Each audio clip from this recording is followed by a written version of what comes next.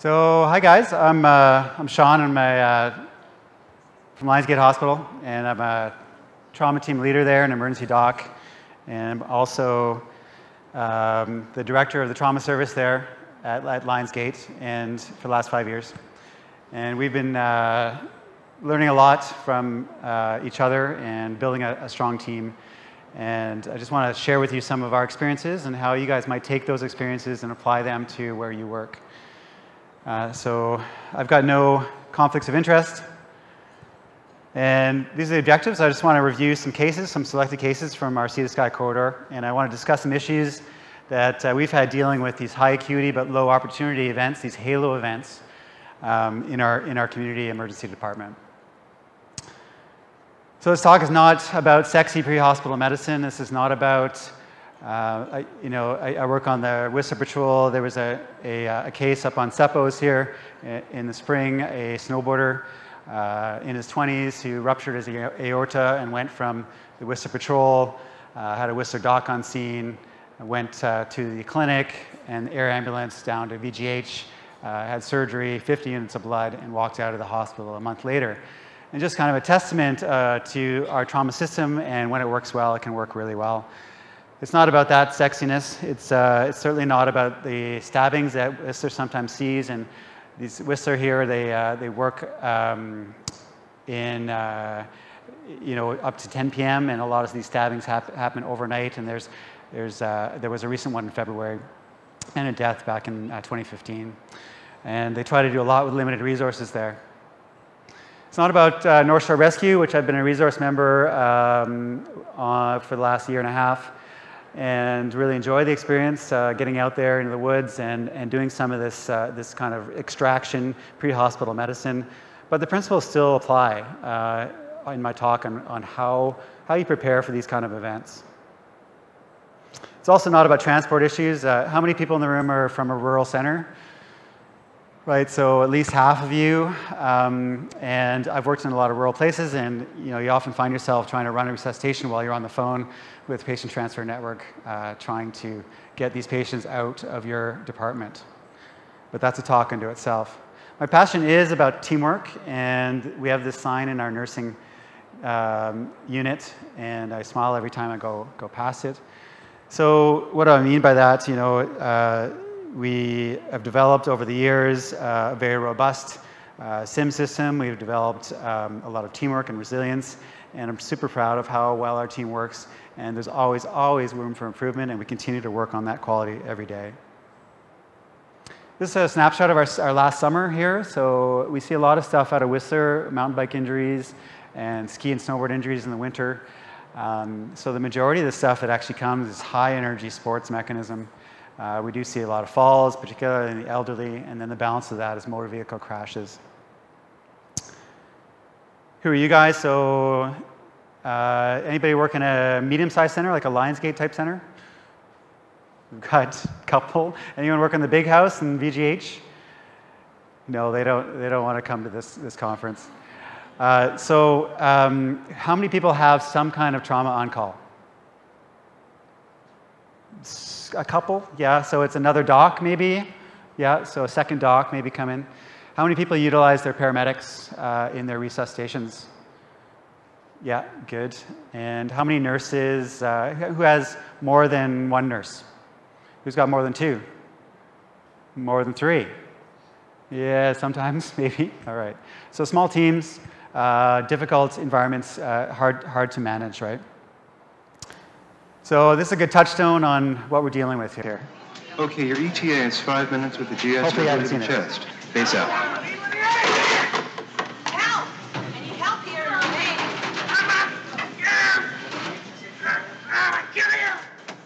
Who's this patient? John, a 32-year-old male, gunshot wound to the left In chest. here. Get the attending and get the trauma team. What have we got? We have a 32-year-old male, gunshot to the chest, BP 100 over 60. Pulse 112, respiration 28. Are we ready to move in? He's awake and alert. Two peripheral IVs in. One, two, three. Wait a minute. Lactated ringers hanging, no meds given. What's your name? John, John Mason. Airways clear. Good, good primary survey. Calm, pretty calm. Where's the O2 connection? Where's the O2? Scissoringham, I need to listen here. Let's get an x-ray down here. We have decreased breath sounds on the left side.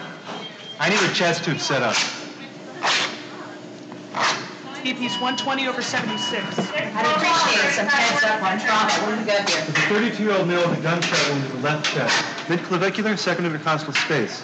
BP in the field is 110 over 60. On arrival, 120 over 76. No exit in the area. Pulse is 137. X-ray is on its way down. We have decreased breath sounds on the left side. Where's that chest tube? Chest. I'll do it. He's losing his vitals. Pressure's 80. I need an ET tube Let's get some blood in this guy. Seven and a half tube. Let's get four units. Hello? His pressure's 60. He's crashing. Give me We have blood coming down. We need four units of blood. I got it. Has he got any pulses? I'm not getting a pulse. So what do you guys notice from that? How was the, how was the initial uh, pre-hospital report? So not bad. I mean, he, he, got, he, got the, he got the report, kind of, then he probably went to go see that guy who was screaming in the other room, so he didn't tell anybody else. Uh, how did you guys uh, like the, um, the initial survey? Not awesome, right? I mean, he's not, not really delegating tasks. He's got his head right in the patient. He's not, doesn't have very good situational awareness. Any other things you guys noticed? So no preparation, right? So no assignment of roles. There was no uh, introduce, introduction of the team, uh, and a lot of that has to do with the fact that they just arrived in the in the resus bay after the patient arrived, right? Yeah. Anything else? Uh, Nobody, everybody's shouting uh, out orders, and nobody really knows who's following them. Uh, where's my chest tube? Uh, hello. And so, anyways, he's, he's uh, very frustrated, obviously, and, and uh, there are ways to mitigate this kind of loss of control. This is Halo. So, my son's a 12 year old. Uh, he loves superheroes, and uh, I don't think he knows about this one, but Halo was on the Batman, Team Batman. Um, and she had the colors of the rainbow that were all halos that gave her powers of flight and tractor beam and all kinds of cool stuff. Um, but Halo is also a, a high acuity, low opportunity event, and that's where the zone of simulation exists. And when you talk about these things, the, um, the high acuity, high opportunity event up in the upper, upper right, can you guys think of anything like that? So, what's that? In major centers, you're seeing, you're seeing the, the, the halos lots, so they become hayhos. Yeah, maybe. Yeah, uh, that could, that's, that's possible. The, in, in not so major centers, you see, like for example, uh, OB centers, they see postpartum hemorrhage quite frequently, which can be quite acute, but, um, but and you also have a high opportunity to see it. Low acuity, low opportunity. Uh, the common example is uh, fecal disimpaction. Um, low acuity and high opportunity are things we do every day in the emerge. Suturing, um, maybe uh, in the OR, um, low risk, uh, elective intubation or anesthesia. The Queen, back in 1992, she, uh, she coined the term annus horribilis when uh, members of the royal family were seen topless uh, and in the tabloids, and Princess Di and Diana got divorced. Um, but we also, in our shop, had an April horribilis when we had uh, three very um, impactful events where we had a hanging in the emerge, we had a, uh, and these two traumas that I'm going to tell you guys about. And sorry, um, the, the shit, coming shitstorm here is a gunshot wound, um, multiple gunshot wounds to a young female that's two blocks from Lions Gate Hospital on the mean streets of North Vancouver. Now, we don't see a lot of gunshot wounds. Um, who here has seen a GSW in their shop? Maybe half of you. Um, we're not the United States here, so we don't see this very often. So how do you prepare for this kind of thing? So you got the shitstorm coming. You're you're trying not to do what that guy was doing. You're assembling your team. You're calling a pre-hospital activation. You're um, you're getting uh, overhead calls so that lab and DI and X-ray are coming in. You're calling in extra help, the trauma team leader from the community. And so that's all this is happening in the background while this patient's coming in in a matter of minutes. How do you remain calm in the situation? How do you control yourself? How do you prevent loss of control in how you think how, what your heart rate is and how you might uh, prepare for this and respond to this and become a good leader. So I was the ED, uh, I was on the, in the ED that day, I was on the acute side, so it was up to me. I was, the, I was the team leader to start with until the trauma team leader showed up. And I got the thoracotomy tray out and I called the surgeon um, who was on his way in. So she comes in, gets rolled in. She's in a C-collar. Uh, we learned from Aaron Kenny's talk yesterday that C-collars and penetrating trauma really are, is not a great idea. It interferes with, especially if you have uh, any wounds around the head or neck. And um, multiple gunshot wounds. She's got wounds in her right cheek. She's got a, a wound in the back of her neck. She's got two wounds on the right wrist, probably from defensive mechanism. And there's some blood at the scene.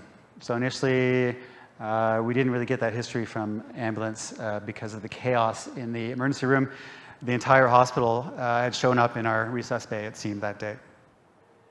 And initial rhythm was narrow complex, and we couldn't really get a pulse.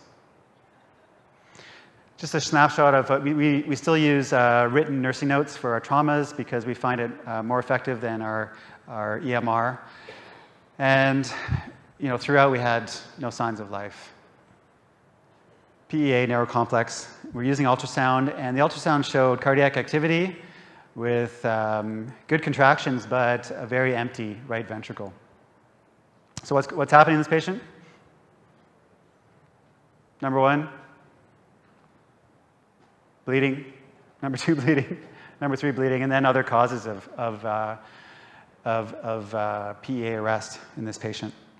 So hypovolemia. So this patient got 10 units of PRBCs, 12 units of platelets, uh, 10 units of cryo, 6 units of FFP. This is all just in the ED. And interestingly, his patient also got lots of epi and normal saline, which is kind of an ACLS thing, and lots of CPR was happening. So are we running an ACLS code or are we running an ATLS code? And there was a lot of confusion there. Um, and it, it's hard not to do CPR on someone that doesn't have pulses. But there is a lot of evidence that doing CPR interferes with other procedures that you need to do in the chest. So we had a return to spontaneous circulation after about five units of blood and some FFP. And we eventually got this patient to the uh, CT. But before that, we did an x-ray with the tube in a good place and otherwise looked good. We did a skull x-ray, uh, which was someone's good idea in the resus bay, and we saw you know, uh, um, the bullets, and one was outside, one was inside the skull. We got them to the CT scanner and still pretty unstable. Uh, we did get ahead but before we got ahead, we got the scout film, which uh, just showed the bullets in the head and nothing else. So we decided just do to the head and get them back to resus bay. Just a shot of the tract of the bullet, and it's sort of extending towards the left ear there.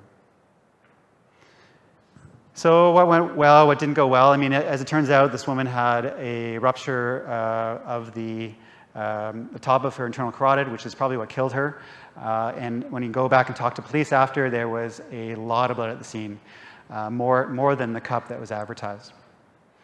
The level one transfuser wasn't working very well. We had to use pressure bags for blood. We uh, had a delay in getting blood from the blood bank. The massive transfusion protocol is a pull protocol in our shop where it, it's not a push, where it just keeps arriving.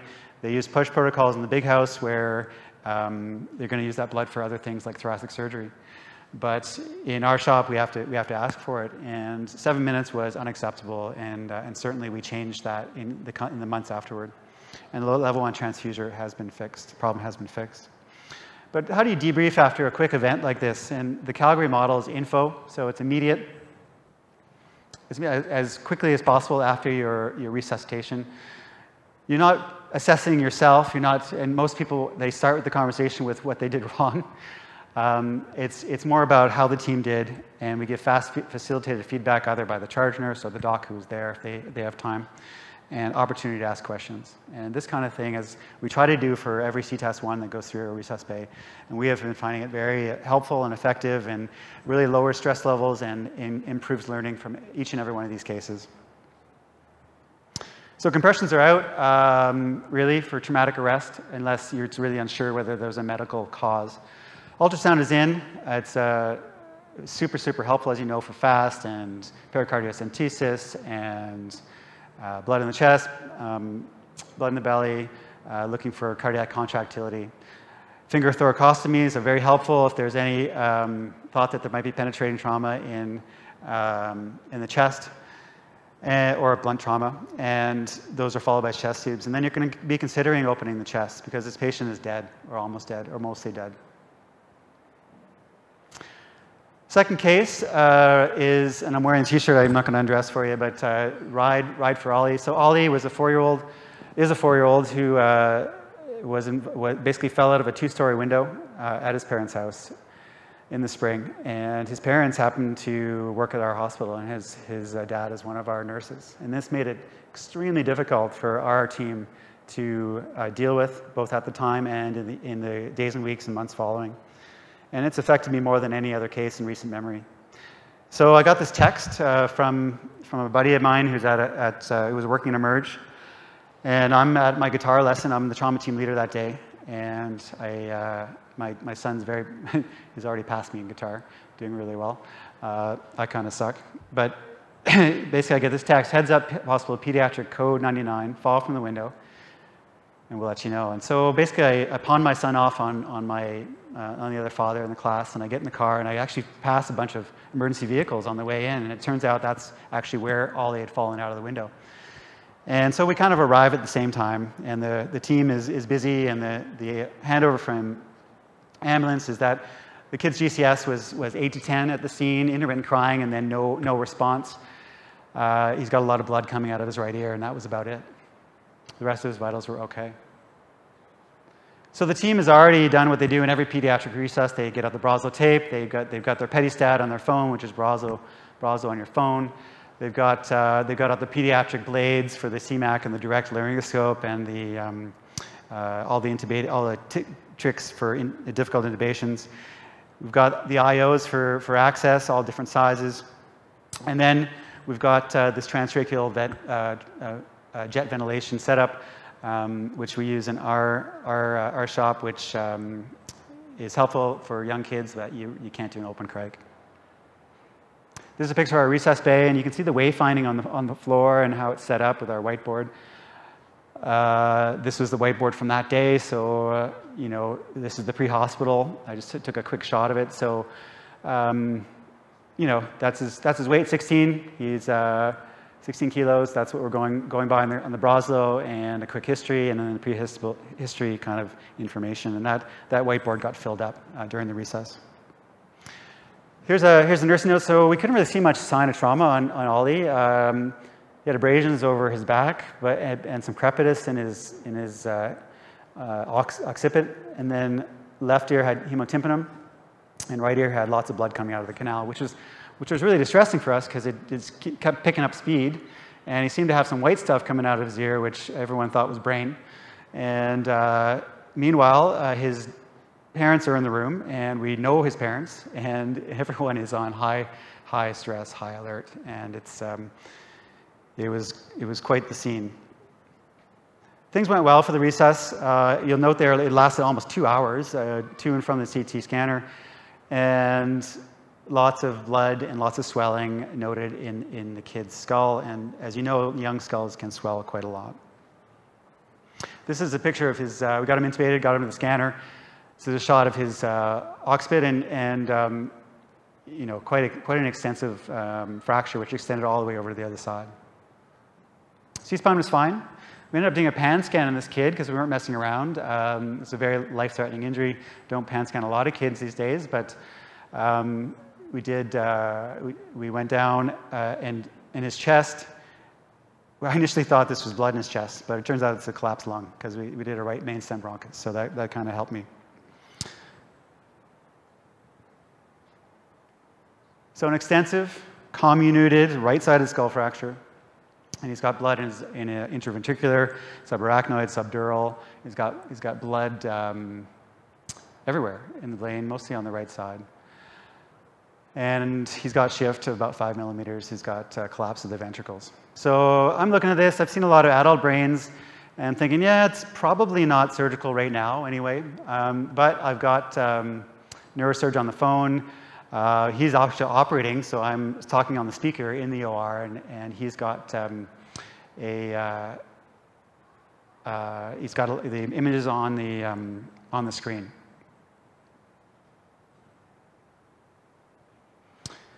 The neurosurgeon says, yeah, no, no surgery, get him over to children's.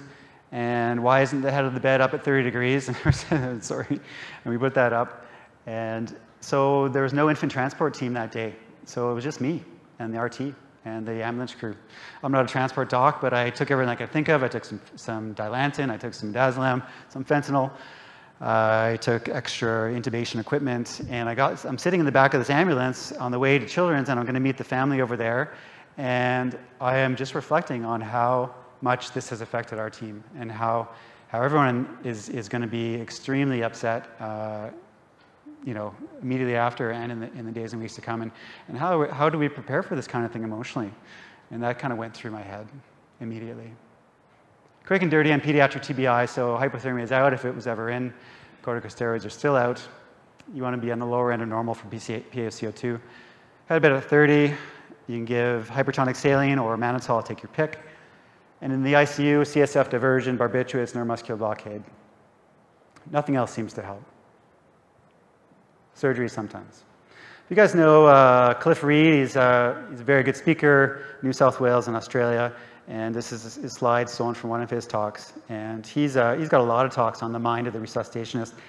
And he talks about four domains whenever you're, you're doing this kind of um, uh, resuscitation. And I'll talk about each, each of them in turn here. The self, so, you know, we had those three stressful events in April, but this is on the background of a prolonged flu season and bed block and nursing shortages. And everyone is stressed and anxious. And there, there's, this, this was actually the worst time for these things to happen in our department. How do we prepare for this? How do we mitigate stress in the department? Because we know it's coming. Let's talk about resilience. What's your resilience bandwidth? A lot of this has to do with cognitive reframing, right? So you learn to take responsibility for, for what's going on. You want to be positive. You want to learn about what you can do and, um, and instead of thinking about just how bad things are. And you either have it or you don't resilience. I'm not so sure. I think you can actually learn resilience. And resilience for me is a sense of flexibility, adaptability, feeling in control, and having that balance in perspective and social support. This guy, Shawn Achor, he, um, he uh, is, is a guy who's very, um, on the, uh, I guess he's a very popular speaker and TED Talks and so on. But he talks about the happiness advantage, and, and he basically, his premise is that, you know, if we're taught that we work hard, we will we'll be successful, and once we're successful, then we'll become happy. But in fact, the opposite is probably true, because research that at least Shawn and a lot of other people are doing is that if you start by being happy, you start by being positive, you frame it from the get-go with positivity that the rest will follow. You'll become uh, more engaged, more creative, more, more motivated, more energetic, and in turn, more resilient. And that kind of resonated with me.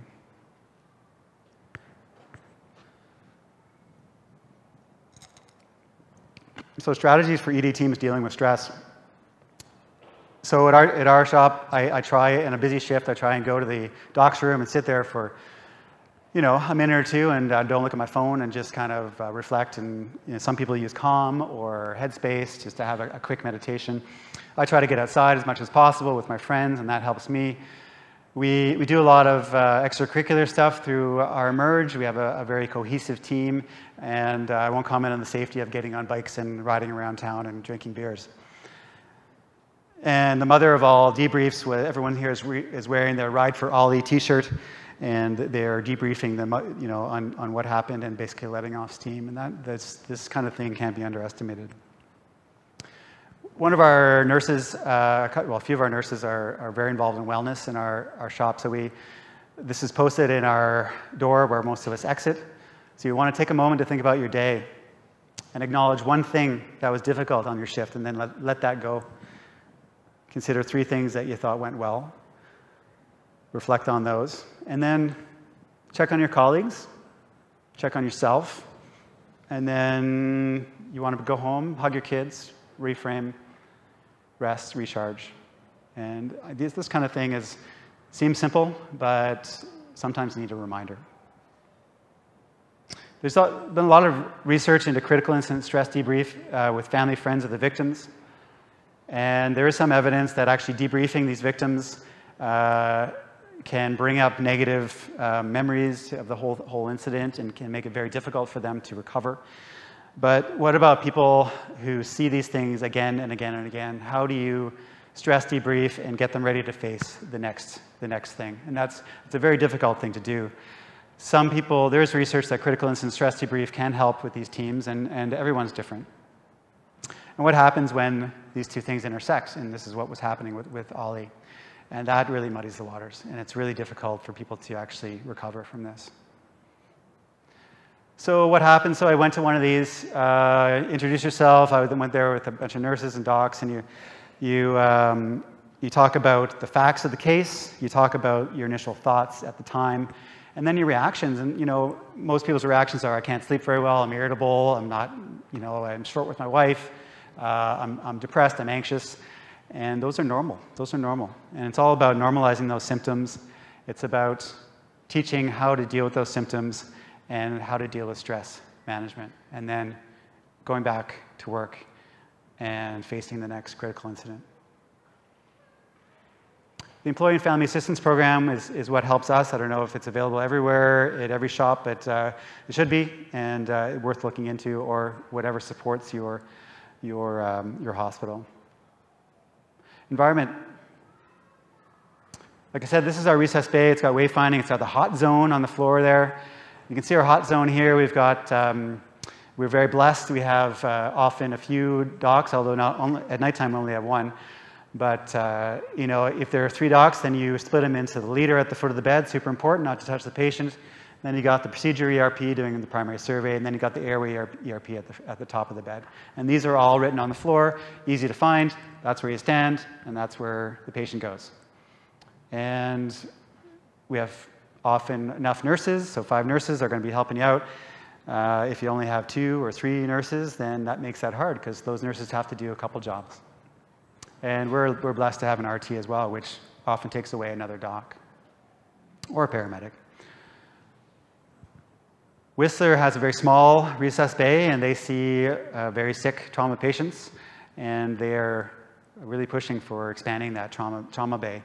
Uh, because when you get in there with a sick patient, it is, I've worked up there, it's incredibly cramped. I've tried to run a resuscitation there, and it's very, very hard. We hold a procedures course at Lions Gate. Every year or two, we get together for a morning and an afternoon, and we teach each other these skills that we don't do very often. Open cricothyrotomy is one of them. We talk about transtracheal jet ventilation, how to landmark, how to set up, how to set up your, your um, equipment. My station the last time was lateral canthotomy for retrobulbar hematoma, and we had a bunch of pig's heads that we were practicing on, which work really well and we went over pericardiocentesis. And in fact, we had a sim on this in our emerged uh, last, a few, I guess, a month or two ago. And it really highlighted how our pericardiocentesis tray was built before the age of ultrasound. And now we had to totally uh, look at the systems and look at, look at what we're going to stock for, for getting into that pericardium. So super helpful there. And more procedures sim, we're, you know, this is um, Ross Brown, eminent Ross Brown, who is an ex-military surgeon, who is going over ED thoracotomy because he's done a lot of them. And he looked at our tray and he basically threw out half of it and he said, this is what you need. And he went over the procedure and it was incredibly helpful for something that I don't think, well, not many people I know have done this, a few. The team, so my passion, teamwork makes the dream work. How do you, how do you prepare the team? And you guys have probably heard this in other lectures. Crisis resource management is incredibly important for the team. It's all about preventing errors. So you can see here in the Swiss cheese model that if you have these errors, these latent failures that exist in your system, or these active failures during the resuscitation, then if all the holes line up, that's where the errors are going to happen, and that's where badness happens to your patient. It's not because of a lack of skill, but it's really because of a lack of organization, a lack of, of avoiding those pitfalls at every layer of cheese. So, so key points for CRM, you know, call for help early. We, you know, in our place, we have this activation where the switchboard calls everybody. Uh, but it's got to be automated as much as possible so that all the key players get there as fast as possible. You want to be knowing your environment. You want to be very aware of your hot zone, where people stand and where the equipment is and how you use that equipment. Use cognitive aids and figure out what's labeled and, and what isn't labeled and what needs to be labeled. Role clarity. Antici sorry, anticipate and plan. So you're, you're wanting, wanting to have that shared mental model when you're, doing a resuscitation. And if you have that situational awareness, then that allows you to set dynamic priorities, allows you to plan, allows you to do that airway plan, that plan A, B, C, and D, and really get everybody on the same page so, so that an effective um, plan is always happening. And that requires effective team leadership and followership. It's really so important to, to designate a team, team leader. And as we saw in that video, one of you pointed out that the, the leader was really, no really, nobody, when the surgeon showed up, nobody really knew what was going on. And then, then even the nurse was trying to lead at one point. And I still see this in our shop, and we still, it's still happening, and I still see resuscitations that are not done very well, and a lot of it has to do with the fact that the team leader is not standing back as much as they should and giving the plan and calming things down and directing things in a very orderly manner. they have got their head and their hands in the bloody patient, and it's very, very ineffective for a good, a good um, uh, well, well effect effectively run simulation establish that role clarity and, and the, you know, you really want to know the patient, people's names in your, in your shop.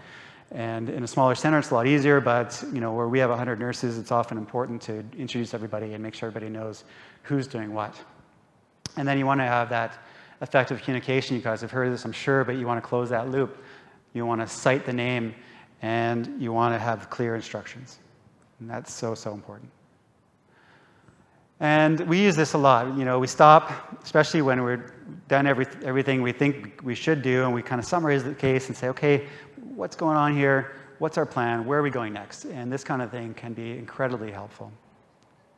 Just a plug for Struck. So this is modeled after the START course in Alberta. Our own Hazel Park uh, runs this, and she uh, has started this from scratch uh, in BC just to to do a roadshow of uh, high fidelity simulations and airway stations. Uh, and they, she'll take it to your place of work and work with your team in your environment to really help you plan using crisis resource management principles. So it comes down to the patient. You know, the patient's why we're there. And, uh, you know, poor Ollie, uh, you know, everyone was there for Ollie, and we really did not want to do any harm for Ollie. How do you one, deal with the emotion of that, but then also cognitively reframe. And one way to do this is through cognitive forcing. And I'll give you an example, like what's the most commonly missed fracture?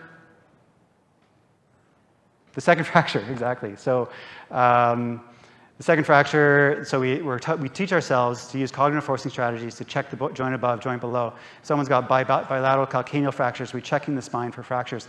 These are cognitive forcing strategies that have been drilled into us and we need to use these at all times during the resuscitation. And you want to be forcing yourself to be thinking, okay, you know, something's going on in the chest. Have we checked the belly?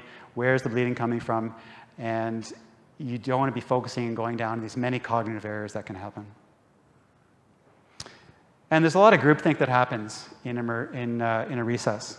And beware, there are risk persuaders lurking among us, and they are strong willed, and they, they will be telling us what's going on and telling us what to do. And this goes both ways. So you have a, if you have a team that you don't know very well, often people will follow, blind, follow the leader blindly. But also, if the team knows each other very well, a highly co cohesive group, then they will uh, feel nice and, and, uh, and safe in this warm cocoon of, of people that they know well. And often, oftentimes, we can keep going down the wrong path. So CUS is the graded assertiveness. So you might be speaking up and saying, you know, I'm concerned that this patient's airway may not remain patent. And that progresses to, listen, I'm really not certain that we should be sending this patient on transfer without a protected airway. And the third one is, well, you escalate that more. You say, listen, this is unsafe. And then you stop and you reframe. And anyone in the room should be able to speak up and do this. There should be a flat hierarchy when it comes to CUS or cognitive forcing strategies or reframing the conversation, avoiding those pitfalls in the Swiss cheese. How, so how do you prevent loss of control in all four of these domains? Well, you know, it, it, it really, a, a, big, big tool in this simulation, and this talk is not all about simulation, but simulation is one of the answers to this. And, you know, this is a sim from a few weeks ago where we had a, a pregnant trauma patient come in uh, with a high fidelity sim and a, you know, a, a belly, a fake belly on her. We had OB come down and we, you know, it was really incredible watching, watching the team work together and look at the systems involved with dealing with two patients at once. Um, and super, super effective sim. And I got to say, you look at this sim compared to the sim that we did when we first started our program five years ago, and it is night and day. And it's, it's really, really incredible how well it's run now.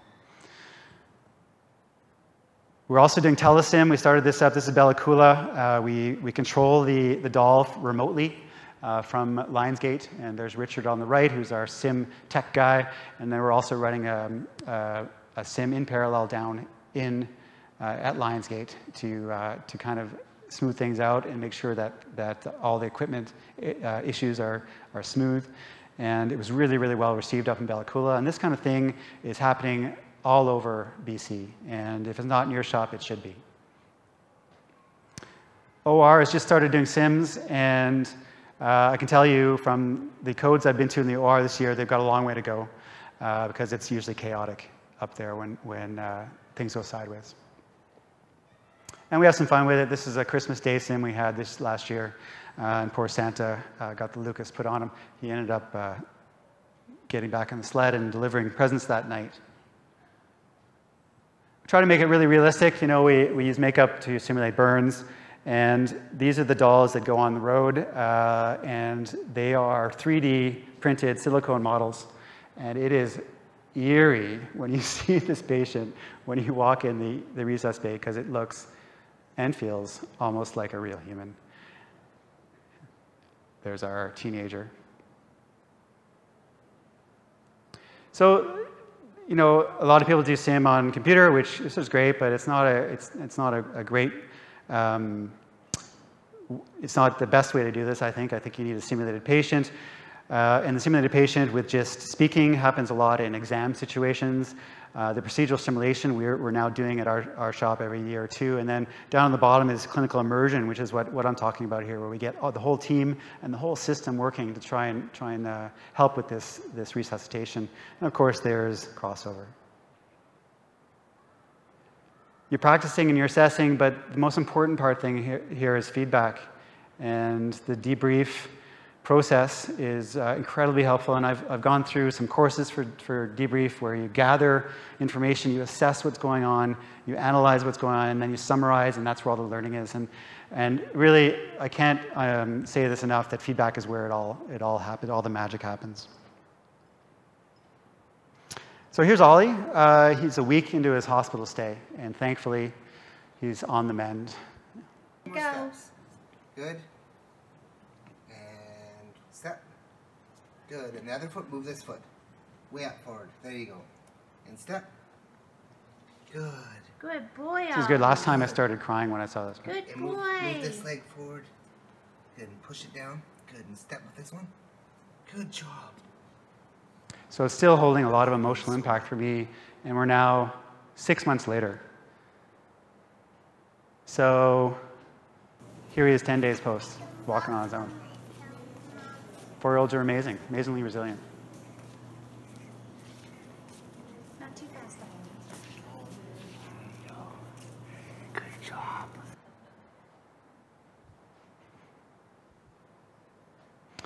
So Ollie has a left homonymous hemianopsia from his in brain injury. Uh, whenever we take photos of Ollie, he always cocks his head, drives his parents nuts. And uh, if you remember from med school, uh, number seven, when it's disrupted, you get that homonymous hemianopsia. Here's Ollie in the summer, and they, they family had a good summer. Um, so I just want to give you guys a bit of a manifesto. You know, this this is difficult to do, and there's a lot of barriers to implementing sim where you work. Uh, there's, you can't get money, you can't get time. Uh, there's, um, how many people here have a, any kind of sim in their shop? So everyone's got something going on. Um, I would say that you're probably not doing it enough, uh, because I know we're not. And you, it's probably not as high fidelity as it should be, or it's not involving systems, or there's something that you need to work on. And I would encourage you to contact um, contact me to uh, if you have any any uh, questions about how to set up an effective trauma program or effective sim in your area. So we talked about uh, self. You know, like what's what are your strategies for for resilience? Uh, how do you uh, uh, deal with critical incident stress? And what kind of extracurricular activities are helpful? We talked about environment, how you set up your resus bay, how you use um, these uh, strategies to label and provide cognitive aids and um, set up your resus bay so it's an effective um, uh, environment to do an effective resuscitation and practice those procedures that you really don't do very often. The team, really, it's all about crisis resource management. It's all about practice. It's all about SIM.